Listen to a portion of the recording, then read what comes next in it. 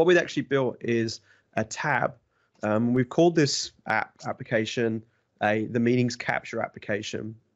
And what it allows me to do is within the context of this particular Microsoft team, and in particular this particular channel of a team, we can go and create meetings um, that are in the future with agendas, um, with people attending, um, as well as pre-read documents, um, and even tasks that we can create to associate with people um, around those pre-reads.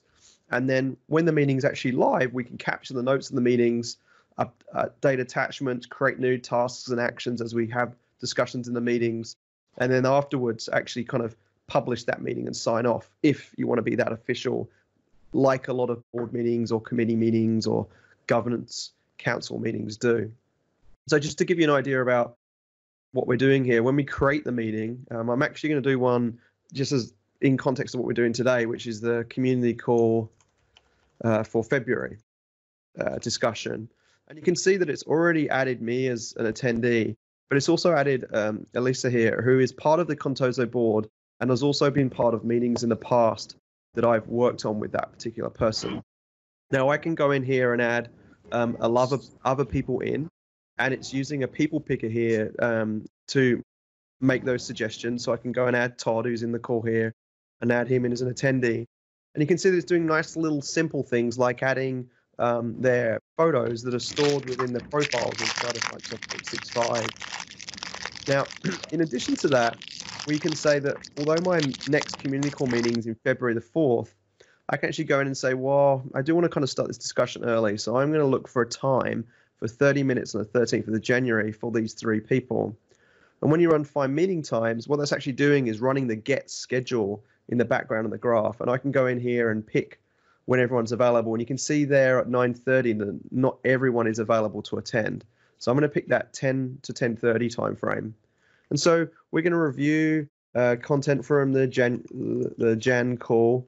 Um, we're going to discuss potential speakers here, and then we're going to uh, talk about content from engineering that we want to add. And obviously, I can go in and add new attendees. And maybe there's some pre-reading before this meeting. Maybe I have already got a list of potential Microsoft Community Core members that I've been drafting in a Word document, and I can click Save.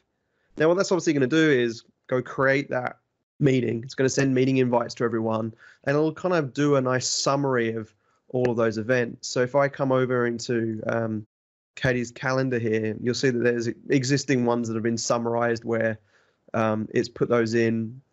And if I go over onto the calendar, um, it will come through here that I've got one on the.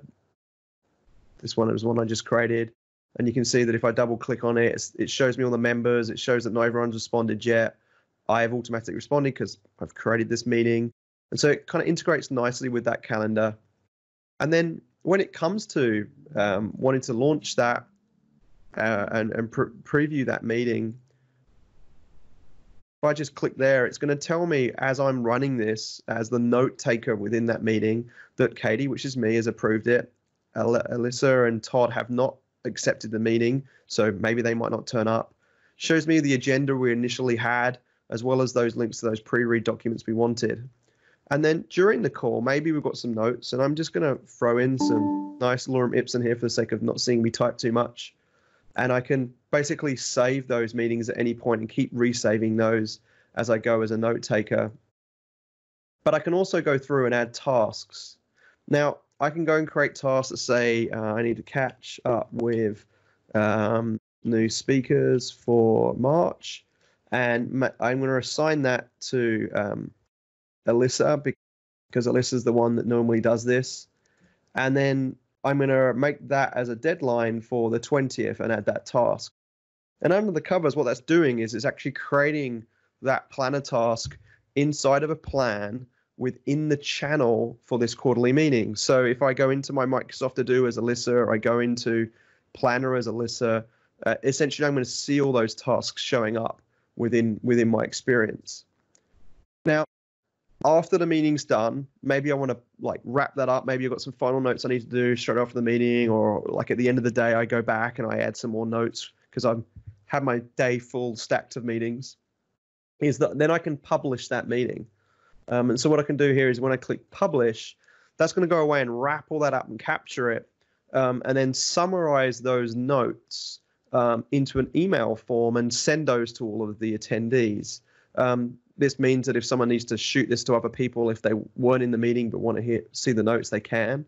Um, but also, the real benefit of this is, is the amount of times like I'm on a bunch of different kind of governance teams here and V teams.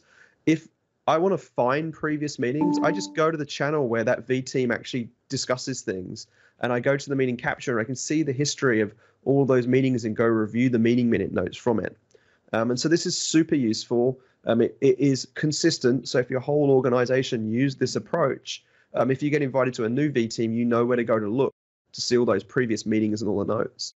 And so if I jump back over to Outlook here and went into Katie's mail here, you'll see that that community call for February is sent the email. We've got a nice standardized format here, shows the attendees at the meeting, it shows what the agenda was, it shows the notes that we're taking during the meeting, but it also shows all the different tasks that were given and and and what's still outstanding. So because those people didn't do the pre-reading of that document that we attached, those tasks are still open, but you could go in there and mark those as closed. And when you publish the the uh, meeting, it wouldn't send those through. And we've done nice things like adding the fact that when you click on this, what we're actually doing is taking advantage of OneNote, which obviously we've created the notebook for that channel within the files section of Teams. And for every meeting that gets basically published, we go and create the OneNote notebook page for those. And so if you wanted to have OneNote on your phone or OneNote on your desktop, um, you could go and basically open this OneNote page in your application and have that on the go with you. Um, and again, consistency, all of the meeting minutes will all be there underneath these different notebooks mapped to uh, the team and the channel, which would essentially be um, a section within the OneNote. And then every single meeting here would, would then be the OneNote pages that get created. So we're leveraging a lot of different aspects of the Microsoft 365 platform here to um, work with a common scenario that people do within companies to um, run with meetings within the context of members of a team. There's one more piece to the puzzle, though, we haven't shown yet, and that's the SharePoint framework piece. And so we also created this SharePoint framework web part. And the idea here was well, it's nice that I'm getting a web bot telling me if I have pre read tasks to do. And it's cool that I can log into Teams, that I can find out what tasks I have upcoming for me uh, by looking at individual meetings. But what about if I just want to look at all the meetings that that this app tracks that I'm a part of? And I want to look at all the tasks in those meetings that are either assigned to me or somebody else. Can I do that in one spot? Was the use case for building this. And so that's what this web part does. And I have it in edit mode to start to show you here that this web part, when it's not running inside of Teams, you put it in edit mode and you tell it the ID of the team that you're running against, as well as the channel where you've deployed it. And once you put those things in there, the web part knows where to go retrieve the information via the Graph API. Now, you probably noticed that this user interface looks very, very similar, except for the launch button over here. And the reason it does is because it's using, again, the same Microsoft Graph Toolkit control um, that, that lists the meetings here. And so when I click on the meeting, the one that Jeremy made, for example, now on the right side, again, we're using a Graph Toolkit control. And this one is basically the list of tasks for a given bucket. And so because each meeting creates its tasks in a separate bucket, this is reading from that bucket. And so we can also filter here on all the tasks were created or just the tasks that were created for me. We didn't have time to write any actions into this page to uh, complete these tasks or change them, but that could easily be done by looking at the other code we made in the app there to make that take place. And the really neat part about this app is that this SharePoint Framework app can also run directly inside of Microsoft Team tab itself. So if I go take a look at this code here for the web part, this is the, the SharePoint Framework web part code I'm looking at now. And in this web part code, the first thing I'd like to point out is the we're using React, we're using SharePoint Core Library, we are also using here the import for the Microsoft Graph controls. Inside of the actual component that is inside of the web part here, here's where we have our interfaces for the person, the agenda, and the tasks component that we use. Now, and there's not enough time to go through this whole thing, but at a high level, here you can see the agenda component. That was the one on the left side of the web part being used. And it has a click event registered for it that when you click one of them, it's going to fire load tasks. And so when load tasks fires, here you can see how we're using the tasks graph toolkit component, which is what you saw rendered on the right side of the screen. And so if we go back again, here, this is the tasks component, and this is the, or task component over here, events component on the left. There's one last interesting thing, well, actually more than one, but one I have time to talk about today in the code here. And this is in the actual initialization of our web part. Let me find it real quick. Here it is. So when the component mounts, if you're familiar with React, component did mount will fire. And inside of component did mount, here you can see where we go to and make a new graph service. And that's when we're going out to get the events by the group and channel.